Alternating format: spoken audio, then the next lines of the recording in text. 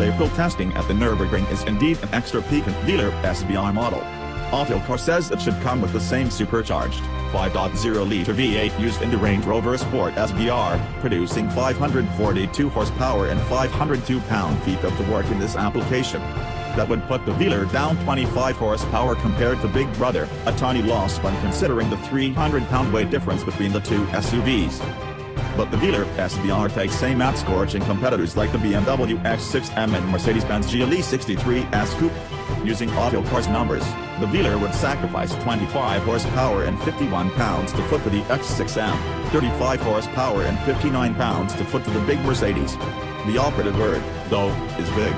The X6M weighs 5,185 pounds, the Mercedes weighs 5,379 pounds. The most powerful Velar on sale at the moment, equipped with a 3.0-liter supercharged V6, touches the scales at 4,471 pounds.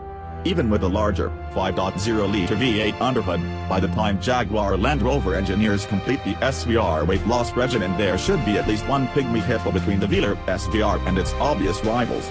Autocar thinks the men wielding the calipers will get the weight down to about 1,800 kilograms, which is a ludicrous 3,960 pounds. Adaptive dampers, new suspension settings that include an SVR mode, larger brakes, lighter wheels, and a reworked 8-speed transmission will sync up to provide dynamic bona fides.